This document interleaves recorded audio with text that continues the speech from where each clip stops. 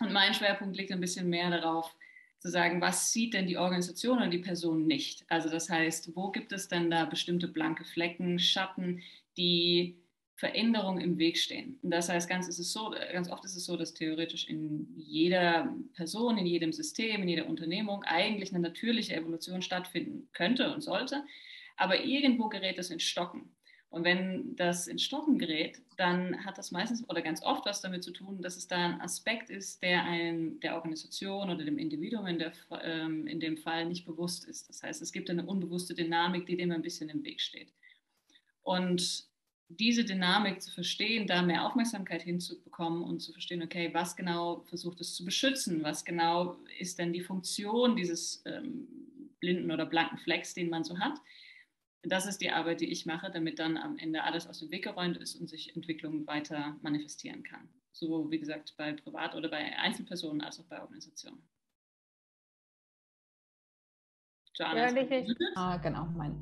Okay, genau. Also ich bin Joanna, Joanna Breidenbach. Ich bin Sozialunternehmerin äh, und äh, habe vor nunmehr, ich muss immer rechnen, wie viele es denn jetzt sind, aber es sind jetzt wirklich ähm, acht Jahre, ähm, meinen äh, Chefposten aufgegeben und das Better Place Lab arbeitet seitdem selbst organisiert und habe in der letzten Zeit natürlich dafür sehr, sehr viel über diese Dynamik von New Work, Selbstorganisation gelernt und ähm, begleite immer noch das Better Place Lab Team vier Tage im Monat und mache ansonsten sehr viele andere Sachen im Innovations- ähm, und Startup-Bereich. Und äh, aber ein Arbeitsschwerpunkt ganz klar ist für mich auch mit Bettina zusammen zu erforschen, was, welche, welche kulturelle Entwicklung sehen wir denn in New Work? Und äh, wie verändert sich unsere Welt gerade äh, in der Wende von einem Paradigma, dem industriellen äh, Leben, hin zu einer neuen Welt, die wir ja auch erst nur in, in ersten Zügen kennen? Und wie kann Innovation aussehen, damit sie wirklich den Namen verdient, dass sie wirklich eine Zukunft uns erschafft, die lebenswerter ist als das, was wir heute haben. Und ähm, genau, das ist so, was wir, Bettina und ich schreiben gerade ein äh, zweites Buch, also den, das Folgebuch von New Work Meets Inner Work äh, sind wir gerade so dabei, die erste Fassung fertig zu machen. Machen wir auch ein Crowdfunding äh, wieder dazu im Sommer. Also das sind so einige Tätigkeitsbereiche, von mir. Und vielleicht erzähle ich noch ganz kurz, äh, wie ich Tina zum ersten Mal kennengelernt habe, weil wir haben wirklich eine lange Geschichte miteinander, weil ich äh, bin seit vielen Jahren im von Xing, äh, die machen ja immer einen New Work Award. Ähm, und äh, in der ersten Jury-Sitzung, die wir hatten, wurde mir ein, ein Jurymitglied vorgestellt, also ein totaler Exot, nämlich so eine richtig punkige, eckige, provokante Frau, äh, ja, die so halb so alt war wie ich und die dann, und das war Tina, damals noch mit sehr kurzen Haaren und ich erinnere noch, Tina, wie du da reingegangen bist und wie du den Kontrapunkt zu diesen ganzen doch eher weißen, wohl saturierten Männern irgendwie äh, dargestellt hast äh, und da ein bisschen den Laden aufgemischt hast, indem du sehr viele Wahrheiten einfach so mal äh, platziert hast, die die Herren sonst nicht so gewohnt waren zu hören. Also das war die auch nicht erfrischend. Das stimmt, das stimmt. Ja, jetzt, ist, jetzt warst du kurz eingefroren, Joanne. Dass du heute dabei bist. Äh, vielleicht so ein bisschen als Intro ist es ja so, dass wenn Bettina und ich ähm, bisher auf ähm, uns mit Macht beschäftigt haben äh, und wer von euch New Work Needs Inner Work gelesen hat, weiß ja vielleicht, dass wir das schon an einzelnen Stellen auch ganz bewusst angehen, aber es ist nicht ein sehr dominantes Konzept, mit dem wir so sehr viel arbeiten. Wir äh, haben Macht natürlich beschrieben, immer wenn wir über kompetenzbasierte Hierarchien schreiben, ja, wo wir sagen, okay, New Work ist für uns eine Verteilung von Macht von der Führungsspitze, von der Unternehmensspitze viel breiter ins Unternehmen. Und in kompetenzbasierten Hierarchien ist es eben halt so, dass jeweils die Menschen, die Entscheidungen fällen können und damit dann auch eben Macht haben, die äh, die relevanten Kompetenzen und die relevanten Informationen dafür haben. Ja, also das ist so der generelle, die generelle Bewegung, diese Verteilung, diese Neuverteilung von Macht äh, im Unternehmen, die äh, mit New Work einhergeht, die nicht einfach beliebig, dass alle plötzlich die gleiche Macht haben, sondern dass die eben an bestimmte Kompetenzen äh, gebunden ist. Und der zweite Aspekt, wo wir immer wieder an Macht rankommen, ist, dass wir merken, was war eigentlich die Motivation von Unternehmern, ihr Unternehmen oder auch die Motivation von anderen Menschen im Team, ähm, New Work einzuführen. Und häufig äh, haben wir da gesehen, beziehungsweise insbesondere Bettina hat das gesehen, weil die ja mit viel mehr Teams arbeitet als ich, dass manchmal New, der Impuls für New Work aus einer Unsicherheit oder aus einer auch einer durchaus einer Vermeidung von Macht und aus einer, einem Widerstand gegen Macht ähm, von der Unternehmensspitze entsteht. Ja, dass eben Gründer, äh, die äh, in ihrer eigenen Biografie Macht als übergriffig erfahren haben, schlechte Erfahrungen mit Macht gemacht haben, dass die New Work ganz toll finden, weil plötzlich, oh Gott, plötzlich müssen, müssen sie nicht führen mehr direktiv und müssen nicht die Macht so ausführen. Und was Bettina dann beschreibt, äh, ist, dass wenn in solchen Unternehmen äh, die Macht nie wirklich besessen worden ist, dann kann sie auch nicht wirklich ans Team übergeben werden. Dann funktioniert diese Verteilung äh, äh, nicht mehr. Ja, das scheint eine Dynamik zu sein. Vielleicht, Bettina, sagst du dann später noch was mehr dazu, die relativ häufig ist. Äh, ja, äh, und äh, das, äh, dass es wie so ein kleiner Bypass ist von Menschen, dass das eine Organisationsform ist, wo sie ihre eigene Schattendynamik ein bisschen mit verdecken können. ja. Ähm, so, und äh, ich glaube, das sind so zwei sehr dominante äh, Aspekte, die wir immer in unserer Arbeit beleuchten. Aber Tina, mich interessiert jetzt äh, nochmal, lass uns mal vielleicht auch ganz von Anfang anfangen, weil du hast bei uns einen Blogpost geschrieben, äh, in dem du eine Beobachtung von dir geteilt hast, die Bettina und ich total interessant fanden, nämlich dass viele Menschen, die sehr, sehr enthusiastisch sich auf eine Veränderungsprozesse eingelassen haben, die neue Arbeits- und Führungsformen einführen wollten in ihren Unternehmen, dass die an so einen Punkt gekommen sind, äh, häufig, wo sie, wo sie sagen, oh Gott, das, fun das funktioniert ja alles nicht. So ein Frust, so ein Frustpunkt, ne? wo sie sagen, okay, eigentlich so die versprochene, das, was wir uns wirklich versprochen haben von agilen Methoden, von Selbstorganisation oder anderen Schritten in Richtung New Work ist nicht so richtig eingetreten. Ja? Und deine Vermutung, die du in diesem Artikel dann ja auch ausgeführt hast, und ich kann den nachher auch nochmal hier im Chat posten, war, dass ein Grund dafür ist, dass wir im Unternehmen oder dass wir einfach als Gesellschaft nicht explizit über Macht sprechen, sondern dass es da ganz viele Tabus und so Schattendynamiken gibt, die einem wirklichen Erfolg von New Work an der Stelle ähm, im Wege steht. Ja? Mhm.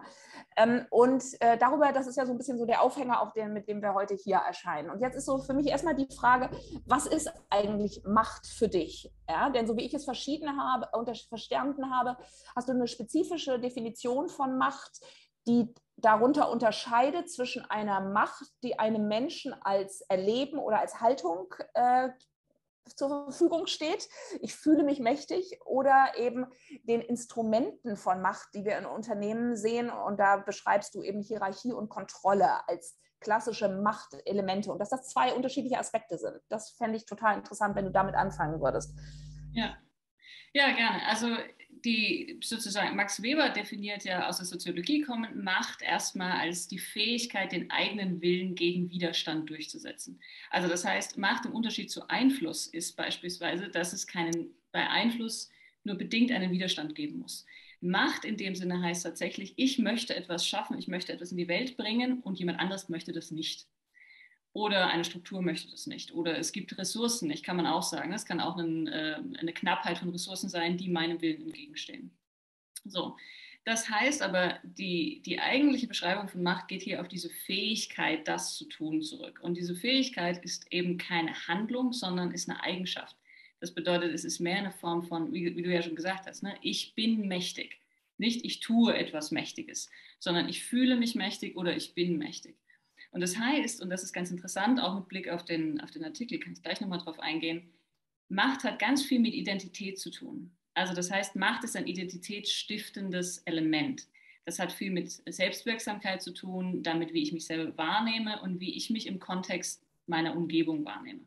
Also das heißt, wenn ich mich als einen mächtigen Menschen empfinde, erstmal wertfrei dahingestellt, dann werde ich in Situationen anders reingehen, auch in Unternehmen, die vielleicht zum Beispiel eine Struktur haben, die mir nicht gefällt, ja, die vielleicht einen Führungsstehen haben, der mir nicht gefällt. Wenn ich, als, wenn ich eine Ohnmacht in mir trage, also das heißt, wenn ich mich nicht bemächtigt fühle, etwas zu tun, dann werde ich natürlich unter bestimmten Strukturen deutlich mehr leiden, weil ich das Gefühl habe, ich kann da nichts dagegen tun. So, das heißt, Macht hat viel mit Selbstbeschreibung zu tun. Gleichzeitig ist es aber so, und das ist ganz interessant, oft im Dialog, gerade wenn es um Organisationen und New Work geht, wird Macht mit Hierarchie gleichgesetzt. Und das ist ein bisschen so ein Trugschluss, weil Macht ist, wie gesagt, der Identitätsaspekt. Und dann nutzt Macht Instrumente wie Hierarchie und Kontrolle. Also das bedeutet, Hierarchie kann ein Instrument sein von Macht, um sich auszudrücken. Einfach zum Beispiel, weil ich sage, naja, ich bin eine sehr charismatische, mächtige Führungsperson in einer Organisation. Ich habe etwas, was ich tun möchte, aber ich habe äh, irgendwie 40.000 Mitarbeiter unter mir, die kann ich nicht alle persönlich anrufen. Das heißt, ich brauche die Hierarchie, um das Ganze nach unten weiterzugeben. Der zweite Aspekt, wie gesagt, ist Kontrolle. Ein Macht muss nicht immer Kontrolle ausüben. Aber Macht kann kontrollieren, auch hier wieder, um ihren Willen umzusetzen. Und das mal auseinander zu äh, dividieren und zu schauen, okay, was passiert denn da, ist vor allem, wie gesagt, für New Work ganz interessant, weil die Frage sich stellt, was genau nehmen wir eigentlich weg, wenn wir in New Work Transformationen gehen und was wollen wir denn noch behalten? Weil wenn wir den Identitätsaspekt wegnehmen, dann fehlt irgendwas. Gleichzeitig wenn der nicht besprochen wird, wird er in diesem Transformationsprozess mit drin sein. Und ähm, das ist, können wir vielleicht nachher nochmal drauf eingehen, ein Aspekt, worauf meine Theorie nach, wie in dem Artikel ausgeführt, auch viele Transformationsprojekte mit Blick auf New Work auch gerne mal scheitern, weil der Identitätsmoment hier einfach nicht mitgedacht wird. Vielleicht kannst du genau das mal ein bisschen nochmal darlegen. Also mhm. wie, welche Rolle spielt Macht in einem konventionell hierarchischen Unternehmen? Äh, was sieht man da für typische Muster und wie verändert sich das dann in New Work, wo wir ja grundsätzlich auf jeden Fall die Instrumente ähm, abbauen? Ja, mhm. Also was ist da so der, die, die Bewegung äh, von Macht? Genau, also in einer konventionellen Organisation, sagen wir mal in einem klassisch ganz strikt hierarchisch aufgebauten Unternehmen, starke Führungspersonen, sieht man ganz oft in Familienunternehmen zum Beispiel. Also das heißt, Gründungs, entweder die Gründungsperson ist noch am Leben und führt das Unternehmen oder es ist die zweite, dritte Generation, es wurde übergeben und so weiter. Du hast aber eine starke, starke im Sinne von mächtige Person an der Spitze, selbst wenn die nicht mehr operativ tätig ist. Immer noch ist sie aber der Identitätsfaktor, der, die, der diese, sozusagen den Spark des Unternehmens hält. So, und die nutzen Hierarchie, um das effizient in die Welt zu bringen.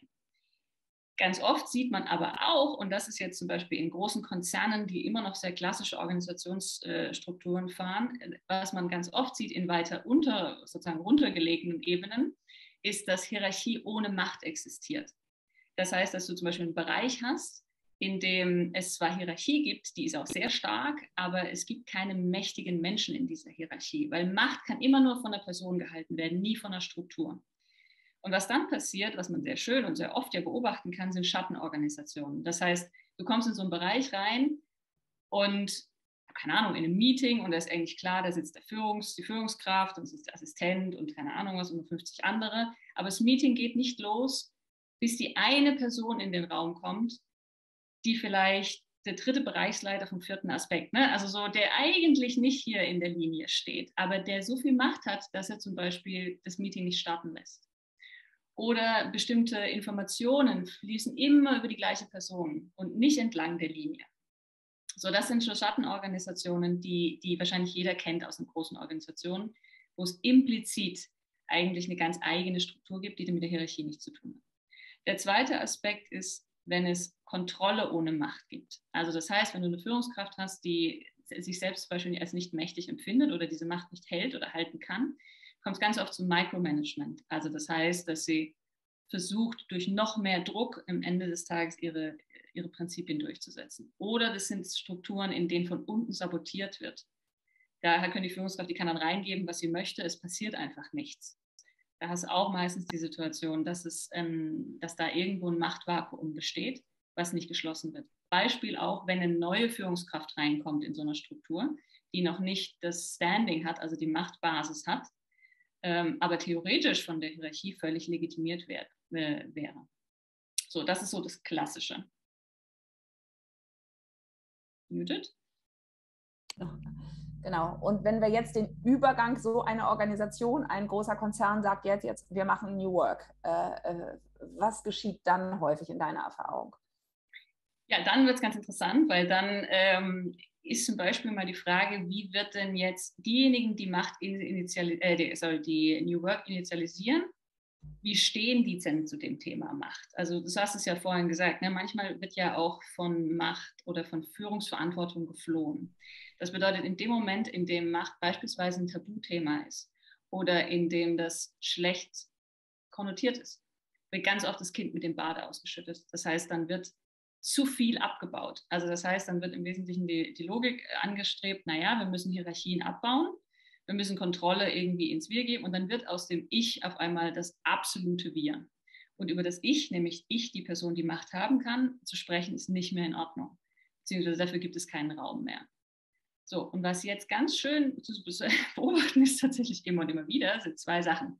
Das eine ist die Macht, das Machtbedürfnis, also das Bedürfnis nach Wirksamkeit geht nicht weg, sondern es wird am Ende nur in einer anderen Form sichtbar.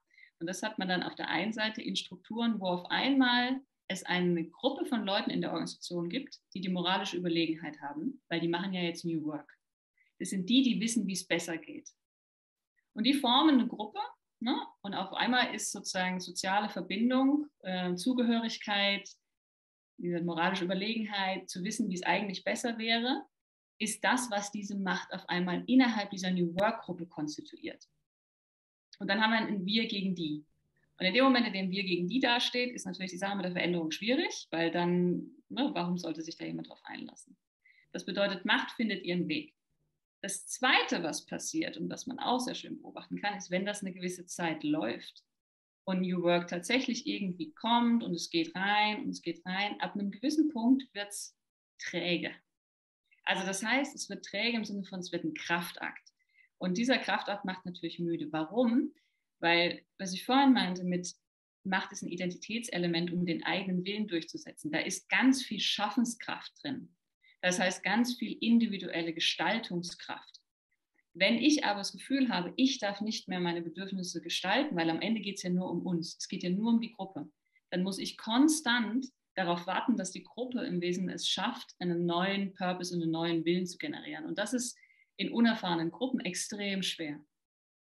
Der Hintergrund davon ist so ein bisschen, dass in den letzten Jahren sich der Gedanke eingebürgert hat, dass äh, es sowas gibt wie einen Purpose einer Organisation oder eine, sozusagen ein Standalone-Ziel einer Organisation.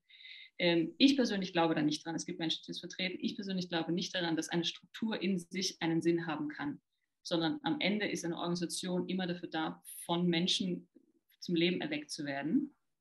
Und wenn diese Menschen aber quasi darauf warten, dass dieses abstrakte Organisationsding ihnen einen Sinn gibt, dann entsteht am Ende so ein, also dann steht ein Putt, weil dann stehen die voreinander und wissen nicht mehr, was sie tun sollen. Und dann wird es anstrengend. Und dann kommt es zu, dem, zu dieser Veränderungsmüdigkeit, wo New Work einfach so ein bisschen ins Leere läuft und einfach extrem anstrengend wird.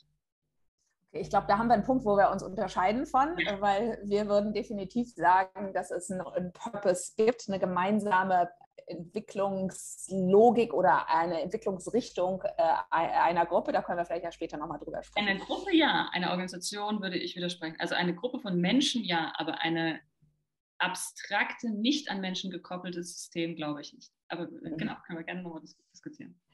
Was, was würdest du denn sagen, was können denn dann Teams tun, um solche Diskussion, du hast ja gesagt, Macht wird häufig tabuisiert. Äh, mhm. ja, und dann entsteht, wenn ich das richtig eben verstanden habe, auch sowas wie so ein kleinster gemeinsamer Nenner, wo niemand auch in der Lage ist, mit seiner Exzellenz oder mit ihrer Exzellenz wirklich äh, sich zu zeigen äh, und auch Sachen einfach umzusetzen. Ja? Ähm, was ist denn dann so, welche Wege gibt es denn dann, um diesem Dilemma zu entkommen? Was für, was für eine Art von Diskussionen muss man führen und auch welche inneren Kompetenzen sind denn dafür notwendig? Mhm. Also vielleicht erstmal zu der Art der Diskussion. Ich glaube, die allererste Frage ist, ähm, ist es in unserer Gruppe okay, über Macht zu sprechen, ja oder nein? Also ist, ist es ja oder nein? Wenn ja, warum? Was, was verstehen wir denn überhaupt darunter? Und dann, dadurch, dass es, wie gesagt, in meiner Perspektive ein individuelles Thema ist, stellt sich schon mal als allererstes die Frage, nehme ich mich als mächtig wahr oder gibt es eine gewisse Ohnmacht in mir? Also gibt es, ne, wo, was, wo, wo bin ich da auf diesem Spektrum? Und es ist ein Spektrum, es ist kein Ja oder Nein, sondern es ist, glaube ich, verschiedene Aspekte sind da im, im Play. Und wo kommen die her? Weil bei Macht ist ja natürlich auch immer die Frage, also gibt es im Grunde zwei Kernfragen. Wenn ich, wenn wir identifizieren in unserer Gruppe, gibt es eine Machtstruktur. Und das wäre dann quasi die nächste Frage auf das Team bezogen okay, es gibt eine Machtstruktur, dann ist die Frage, worauf fußt diese Macht und mit welchen Mitteln bedient sie sich? Also das heißt, wir müssen als Team identifizieren, basiert diese Macht auf sozialer Bindung? Basiert diese Macht auf individuellem Charisma? Basiert diese, also ist es eher eine Frage von innerer Haltung? Ist es eine Frage von sozialer Kompetenz? Ähm, ne, das sind ja die unterschiedlichen. Und welche Methoden, welche, welche Werkzeuge werden genutzt, um diese Macht zu stabilisieren. Also Hierarchie, Kontrolle waren das vorhin, es kann aber auch andere Sachen sein. Und dann ist die Frage am Ende, wollen wir das so? Ist das in unserem Sinne oder können wir das für andere Art und Weise darstellen, die vielleicht mehr in unserem Sinn ist, je nachdem, was wir erreichen wollen. Es gibt ja auch unterschiedliche Zielsetzungen an dieser Stelle. Aber diese beiden Dialoge, glaube ich, sind ganz wichtig zu führen. Erstmal, was bedeutet Macht für mich? Wie fühle ich mich an dieser Stelle? Wie viel ne, was bringe ich da an den Tisch? Und in unserer Struktur, in unserem Team, wo findet Macht statt? Wer hat die? Worauf fußt die? Und welche Werkzeuge werden benutzt? Und das zu thematisieren ist, glaube ich, ähm, zentral. Und könnte ich mir das so vorstellen, dass du dann wie eine Aufstellung im Raum machst äh, und sagst, stellt euch mal entlang äh, der Form auf, so entlang von hier ist sehr, sehr wenig Macht und hier ist sehr viel Macht. Äh, und dann hast du so ein Soziogramm äh, am Ende von einem Team zum Beispiel. Ähm, und darüber diskutierst du dann? Ist das so eine Methode, die genau, man verwenden genau. würde? Das ist genau sowas. Also das heißt, ich äh, habe jetzt letztens erst mit einem, äh, mit einem Unternehmen das gemacht und dann habe ich die erst eben in die individuelle Reflexion geschickt, so wie, wie übt ihr eigentlich Macht aus? Und dann waren sie alles ein bisschen verschämt und waren so, nee, also ich brauche ja keine Macht, also nee, brauche ich alles nicht. Also ich arbeite, ich bin ja kollaborativ. Also wenn Macht das Gegenteil von Kollaboration wäre, auch sehr interessant. Ähm, und dann haben wir genau das gemacht. Ich habe gesagt, okay, jetzt ein Freiwilliger, du nimmst dir jetzt drei Leute aus dem Raum, stellst die auf, je nach der Machtstruktur, sagst aber nicht, wo oben und unten ist. Also sagst nicht mächtigster, wenigster, mächtigster, sondern stellst die einfach hin. Dann habe ich den nächsten genommen und gesagt, und du positionierst es die nächsten basierend auf dem, was da steht. Du weißt nicht, was dein Vorgänger gemeint hat, du stellst die einfach dazu, wie es für dich richtig ist. Zwei, dreimal gemacht, dann hat sich ein Bild ergeben. Und dann habe ich die Leute gefragt, wie fühlt sich denn das an? Und es hat sich herausgestellt, dass es verhältnismäßig konsistent war. Und das war spannend, weil es eben nicht zur Hierarchie gepasst hat. Und dann kannst du darüber sprechen. Wo kommt denn das her? Wo ist da ein Störgefühl drin? Und so. Es ist am Ende einfach nur das, was du, was du damit machst, ist, du machst Dinge beobachtbar und in Beobachtung verändert. So, das ist die Grundlage von allem. Und wenn irgendwas nicht beobachtet werden darf, dann wird es immer Veränderungen verhindern. Äh, und deswegen sprechen wir darüber in der Art um solche Diskussionen zu führen, brauchst du natürlich in einem Team schon auch einen wirklichen Vertrauensraum. Äh, nicht? Weil sich da zu positionieren oder jemanden so zu platzieren, was zum Beispiel einer offiziellen Hierarchie widerspricht, ne? äh, das ist natürlich auch durchaus voraussetzungsvoll, nehme ich mal an. Ne? Das kann man, wie gesagt, das kann man im, im Daily Doing, kann man das ein bisschen aufweichen, indem zum Beispiel eben die Personen nicht belabeln müssen, warum sie so gestellt haben, wie sie gestellt haben. Und bei einer groß genug Gruppe verzerrt sich das Bild genug, dass da keiner zu sehr exponiert ist. Interessant ist es allerdings, wenn die Leute dann da stehen, was es mit den Menschen macht, die da aufgestellt worden sind. Also es sind weniger die, die die Position gewählt haben, sondern mehr die auf einmal in der Position sind, die es zu beobachten gilt. Weil was dann ganz schnell passiert, ist, eine, ist, ist ein Unwohlsein, ne? ist eine Übersprungshandlung. Ich stehe jetzt hier ganz vorne, was heißt denn das? Ähm, bin ich exponiert oder bin ich hier der Anführer? Weiß ich nicht so genau. Und dann siehst du sehr schön, wie die individuelle Person mit dieser Macht umgehen kann. Hm. Und im Idealfall kann man mit denen dann nochmal nacharbeiten. Aber ähm, klar, nichtsdestotrotz, solche Prozesse haben immer ein Vertrauens, also brauchen immer eine gewisse Vertrauensgrundlage. Ja. Vielen Dank. Ich glaube, äh, mit Blick auf die Uhr würde ich gerne nochmal dich, Bettina, äh, reinholen und dann äh, seid ihr dran. Äh, dann äh, können wir diskutieren über eure Erfahrungen äh, und Fragen zum Thema Macht in Organisationen, insbesondere in New Work-Organisationen. Bettina, wenn du so äh, Tinas Ausführungen zuhörst, so wo entstehen dann da bei dir ähm, Resonanzen und wo hast du das Gefühl, okay, das ist deine Perspektive ähm, oder deine Erfahrungen, vielleicht sind andere? Also jetzt so vom Grundprinzip würde ich dem, also würde ich das alles unterschreiben, ne? Also dass, dass dieses, also dass man das, das ein Teil dessen ist, was wir in einem Team besprechbar machen müssen. Ähm, ich habe gemerkt, ich fand es ganz interessant, ich habe gemerkt, dass ich Macht tatsächlich so ein bisschen, also dass ich zwei Formen von Macht unterscheide in meiner Arbeit. Ähm, und zwar ähm, habe ich das Gefühl, eine Organisation als solches hat systemisch einen Machtstrang, der sich verteilt. Also ich habe das gerade bei dir sehr aus der individuellen Sicht gehört. So was nehm, nimmt sich das Individuum? Wie verorte ich das in mir selber? Und ich merke so, dass ich da oft auch sehr systemisch denke und einfach, wieso, es gibt einen 100% Kuchen an Macht und dann gucke ich auch immer, wie verteilt er sich in der Organisation. Also ich gucke da aus so einer also es hat sich ein bisschen in mir anders angefühlt, als ich dich gehört habe. Das fand ich einfach interessant für mich nochmal zu merken. Und ich habe gemerkt, dass ich mich sehr damit beschäftige. Und da fände ich es toll, wenn du dazu nochmal was sagen könntest. Wenn ich mich mit Individuen zu Macht auseinandersetze, dann beschäftige ich mich auch immer viel mit diesem Belonging und Becoming, also Sicherheit und Autonomieverhältnis, weil ich das Gefühl habe, dass wie machtvoll sich jemand erlebt, auch sehr intrinsisch mit seiner inneren Balance zwischen seinem Sicherheits- und Zugehörigkeitsgefühl und seinem Autonomiegefühl zu tun hat. Und ich fände es super, wenn du da nochmal deinen Blick vielleicht drauf teilen kannst, wie du das verortest.